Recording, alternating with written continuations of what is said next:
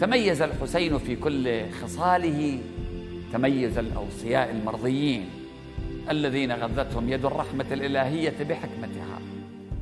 فكان كما خاطبه صاحب الأمر كنت للرسول ولدا وللقرآن منقذا وللأمة عضدا وفي الطاعة مجتهدا حافظا للعهد والميثاق. ناكبا عن سبيل الفساق وباذلا للمجهود طويل الركوع والسجود زاهدا في الدنيا زهد الراحل عنها ناظرا إليها بعين المستوحشين منها. آمالك عنها مكفوفة وهمتك عن زينتها مصروفة وألحاظك عن بهجتها مطروفة. ورغبتك في الآخرة معروفه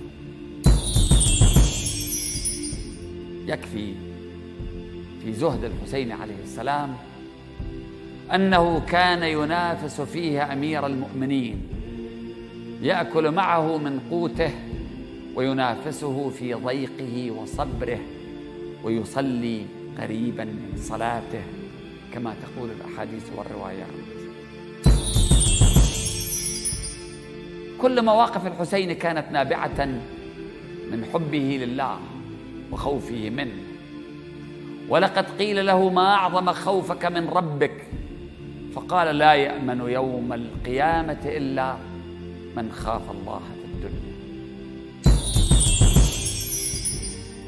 لم تقتصر عظمة الحسين على مواجهته للظالمين ومقاومته لأهل البغي المترفين وإنما كان الحسين مع الفقراء بمقدار ما كان ضد آكل حقوقهم وكان وصولا للرحم بمقدار ما كان يكره قاطع الأرحام وكانت بطولاته في ميادين الأخلاق كبطولاته في مواجهة المجرمين الفساق.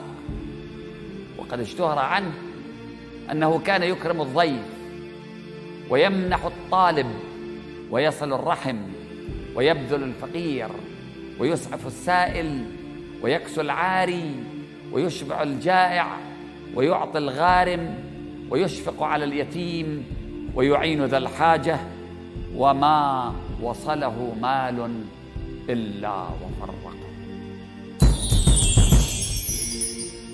كان الحسين عليه السلام في شجاعته كجده صلى الله عليه وآله وسلم. وكان الحسين في زهده كأبيه علي وفي ظلامته كأمه وفي صبره كأخيه.